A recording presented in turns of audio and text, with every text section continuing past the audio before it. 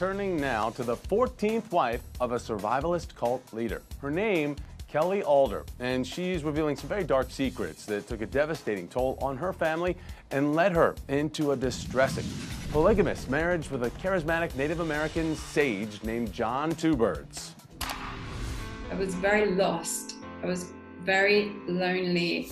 The draw of a family was very enticing.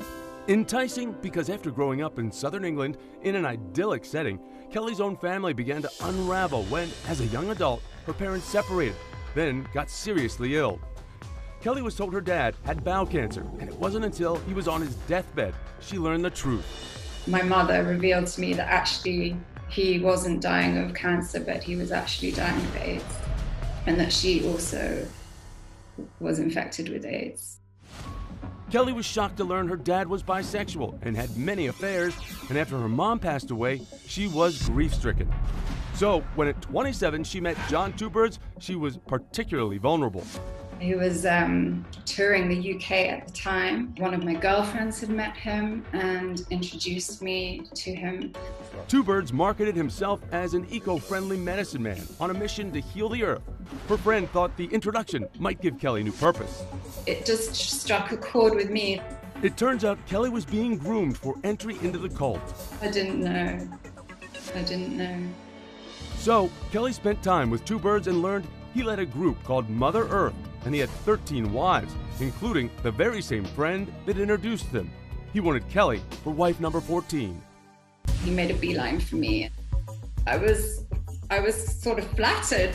When Two Birds invited Kelly to his home base in New Mexico, she says she knew. That if I went, that I would have to marry him. The couple did marry in a non legally binding ceremony just a day after arriving in the U.S. It was obvious that I would have to consummate the marriage, and I wasn't looking forward to it at all. He wasn't an attractive man, he was shorter than me, overweight. Two Birds was also more than twice Kelly's age, and while charisma may have won her over, Kelly learned he was not the man he pretended to be. Mother Earth was more a doomsday cult overloaded by its leader. He ruled by fear and bullying. We did shooting practice. He was very into survival, you know, proper Armageddon stuff.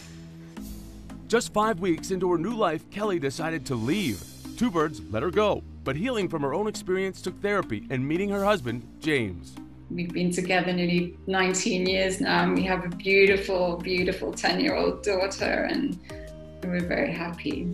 Ironically, Kelly kept her own secret from James, who found out about her cult marriage when she wrote about it in a book to eventually explain it all to her daughter. He took it very well.